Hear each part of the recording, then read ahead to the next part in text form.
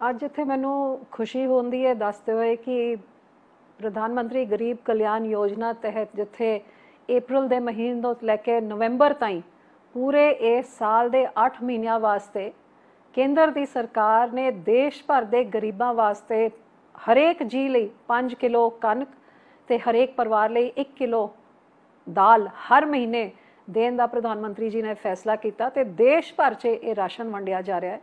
ਸਾਡੇ ਪੰਜਾਬ ਵਿੱਚ ਵੀ April ਦੇ ਮਹੀਨੇ ਤੋਂ ਸ਼ੁਰੂ ਹੋਇਆ, ਬਹੁਤ ਸਾਰੇ ਪਰਿਵਾਰਾਂ ਨੂੰ ਇਹ ਰਾਸ਼ਨ ਮਿਲਿਆ ਹੈਗਾ।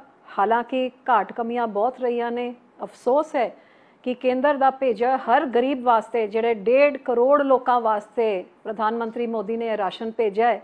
ਲੇਕਿਨ ਸੂਬੇ ਦੀ ਸਰਕਾਰ ਨੇ ਪੱਖਪਾਤ ਕਰਦੇ ਹੋਏ ਆਪ ਦੇਆਂ ਨੂੰ, ਚਹਿਤਿਆਂ ਨੂੰ ਕਿਸੇ ਨੂੰ ਦੇਤਾ ਤੇ ਕਿਸੇ ਨੂੰ ਛੱਡਤਾ ਕਰਕੇ ਬਹੁਤ ਸਾਰੇ ਲੋਕੀ ਰਹਿ ਗਏ ਜਿਨ੍ਹਾਂ ਦਾ ਹੱਕ ਬੰਦਾ ਸੀ, ਲੇਕਿਨ ਇਹ ਰਾਸ਼ਨ ਨਹੀਂ ਮਿਲਿਆ।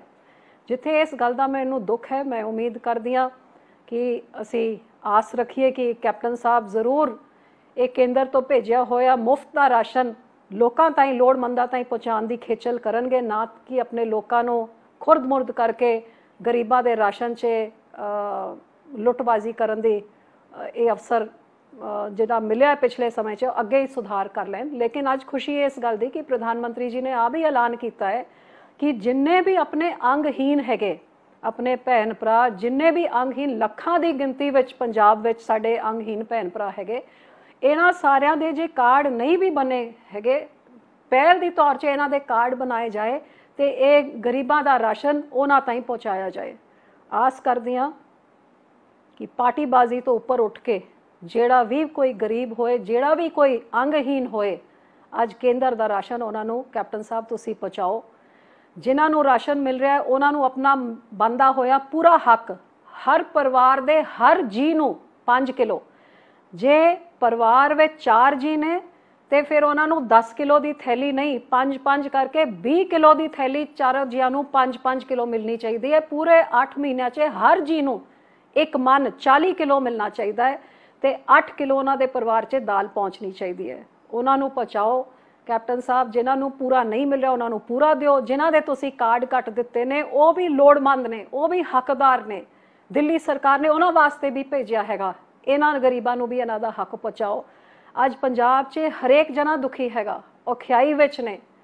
ਤੁਹਾਨੂੰ ਇੰਨਾ ਲੰਬਾ ਸਮਾਂ ਮਿਲਿਆ ਕਿ ਕੋਵਿਡ ਦੀ ਲੜਾਈ ਦੀ ਤੁਸੀਂ ਤਿਆਰੀ ਕਰ ਸਕੋ। ਦੂਜੇ ਸੂਬਿਆਂ ਦੀ, ਦਿੱਲੀ ਵਰਗੇ ਸੂਬੇ ਦੀ ਗਲਤੀ ਤੋਂ ਸਿੱਖ ਕੇ ਆਪਾਂ ਸੁਧਾਰ ਕਰਕੇ ਆਪਣੇ ਆਪ ਨੂੰ ਪ੍ਰਪੇਅਰ ਕਰ ਸਕੀਏ। ਲੇਕਿਨ ਅਫਸੋਸ ਪ੍ਰੈਪਰੇਸ਼ਨ ਕੀ ਕਰਨੀ? ਅੱਜ ਕੋਵਿਡ ਸੈਂਟਰ ਦੇ ਹਾਲਾਤ ਤੁਸੀਂ ਦੇਖੋ। ਨਾ ਲੋਕਾਂ ਨੂੰ ਖਾਣ ਵਾਸਤੇ ਕੁਝ ਉੱਥੇ ਮਿਲ ਰਿਹਾ ਹੈਗਾ। ਨਾ ਅੱਜ ਲੋੜਮੰਦਾਂ ਨੂੰ, ਜਿਨ੍ਹਾਂ ਨੂੰ ਵੈਂਟੀਲੇਟਰ ਦੀ ਲੋੜ ਹੈ, ਸਿਫਾਰਿਸ਼ ਕਰ ਕਰਕੇ ਬੈੱਡ ਕਿਸੇ ਨੂੰ ਮਿਲ ਰਿਹਾ ਹੈ। ਬਠਿੰਡਾ ਵਰਗੇ ਸ਼ਹਿਰ 'ਚ ਵੀ ਬੈੱਡ ਪੂਰੇ ਨਹੀਂ ਹੋ ਰਹੇ ਹੈਗੇ ਵੈਂਟੀਲੇਟਰ ਪੂਰੇ ਨਹੀਂ ਕਿਤੇ ਮਿਲ ਰਹੇ ਨੇ।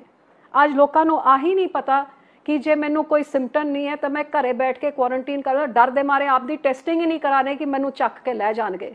ਤੇ ਟੈਸਟਿੰਗ ਕਿੰਨੀ ਘੱਟ ਹੋ ਰਹੀ ਹੈ ਮੈਨੂੰ ਦੱਸਣ ਦੀ ਲੋੜ ਨਹੀਂ। ਅਫਸੋਸ ਇਸ ਗੱਲ ਦਾ ਕਿ ਕੈਪਟਨ ਸਾਹਿਬ, ਤੁਸੀਂ ਬਿਆਨ ਜਦ ਦਿੰਦੇ ਹੋ ਬੈਠ ਕੇ ਕਿ ਸਪਟੈਂਬਰ ਦੇ ਮਹੀਨੇ 'ਚ 3100 ਬੰਦੇ ਮਰ ਜਾਣਗੇ, ਜੇ ਤੁਹਾਨੂੰ ਪਤਾ ਹੈ ਮਰ ਜਾਣਗੇ, ਤੁਹਾਨੂੰ ਨਜ਼ਰ ਆ ਰਹੇ ਨੇ ਕਿ ਤੁਹਾਡੀ ਤਿਆਰੀ ਨਹੀਂ ਹੈ, ਤੇ ਅਜੇ ਵੀ ਸਮਾਂ ਤੁਸੀਂ ਤਿਆਰੀ ਕਰੋ, ਆਪਣੇ ਆਪਣੇ ਵਿਸ਼ਰਾਮ ਘਰ ਤੋਂ ਬਾਹਰ ਨਿਕਲ ਕੇ ਲੋਕਾਂ ਦੇ ਵਿੱਚ ਜਾ ਕੇ ਪਤਾ ਤਾਂ ਕਰੋ ਉਹਨਾਂ ਦੇ ਹਾਲਾਤ ਕੀ ਨੇ। ਤਿਆਰੀ ਕਰ ਲਓ। ਛੋ, ਤੁਹਾਡੀ ਛੋਟੀ ਜੀ ਤਿਆਰੀ ਦੇ ਨਾਲ ਕਈਆਂ ਦੀ ਜਾਨਾਂ ਬਚ ਜਾਣਗੀਆਂ।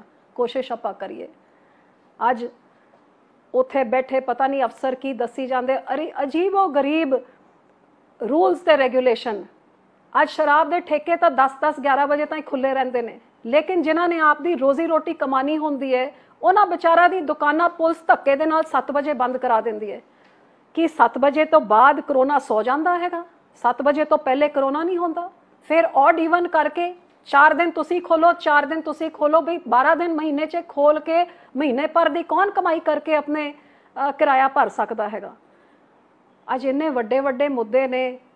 ਲੋਕਾਂ ਦੇ ਬਿਜਲੀਆਂ ਦੇ ਬਿੱਲਾਂ ਤੋਂ ਔਖੇ ਅੱਕੇ ਹੋਏ ਨੇ, ਦੁਖੀ ਹੋਏ ਨੇ, ਭਰ ਨਹੀਂ ਸਕਦੇ ਕਿਉਂਕਿ ਆਮਦਨ ਖਤਮ ਹੋਈ ਹੈ। ਸਕੂਲ ਦੀ ਫੀਸ ਅੱਡ ਇਸ਼ੂ ਬਣਿਆ ਹੋਇਆ ਹੈ। ਤੁਸੀਂ ਔਡ ਇਵਨ ਕਰਕੇ ਦੁਕਾਨਦਾਰਾਂ ਨੂੰ ਖੱਜਲ ਖਵਾਰ ਕਰ ਰਹੇ ਹੋ। ਅੱਜ ਇਹ ਸੁੱਤੀ ਹੋਈ ਸਰਕਾਰ ਵੀ ਨਹੀਂ ਮੈਂ ਕਹਿ ਸਕਦੀ, ਸਰਕਾਰ ਨਾਮ ਦੀ ਤਾਂ ਚੀਜ਼ ਹੀ ਨਹੀਂ ਹੈ।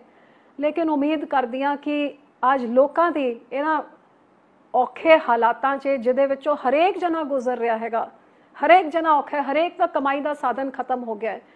ਅੱਜ ਇਹਨਾਂ ਲੋਕਾਂ ਦੀ ਤਕਲੀਫਾਂ ਨੂੰ ਘਟਾਉਣ ਵਾਸਤੇ ਇਹ ਸਰਕਾਰ ਆਪਣੇ ਆਪ ਨੂੰ ਇਹਨਾਂ ਦੀ ਜਗ੍ਹਾ ਵਿੱਚ ਰੱਖ ਕੇ ਕੁਝ ਉਪਰਾਲੇ ਕਰੇ।